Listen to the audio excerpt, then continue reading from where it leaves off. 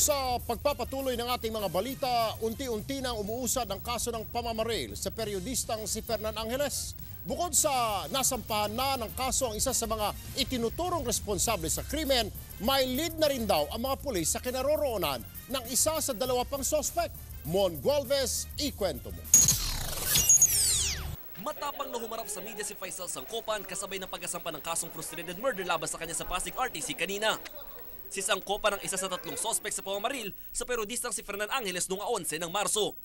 Sumuko si Sangkopan sa mga pulis itong Sabado sa tulong ng isang konser at mga kapwa Muslim. Git niya, wala siyang kinalaman sa krimen. Kaya nga ako lumutang para nalinisin ang pangalan ko dahil hindi ako ang gumawa.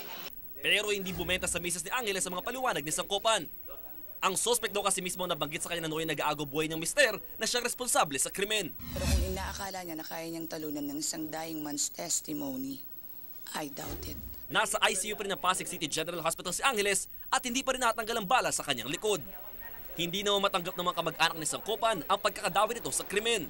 Apela nila kay Angeles. Sabi siya ng totoo, katotohanan. Kasi maraming talagang naka-witness dyan na hindi si Paisa lang bumaril dyan eh. Nauna na naglabas ang pulis ng artist sketch ng isa pang sospek na si Alias Praning. Tukoy na rin doon nilang kinaroroonan ang ikatlong sospek. This is a good uh, good assault, but we will still uh, um, uh, track down the other uh, perpetrators. Mon Gualvez, News 5.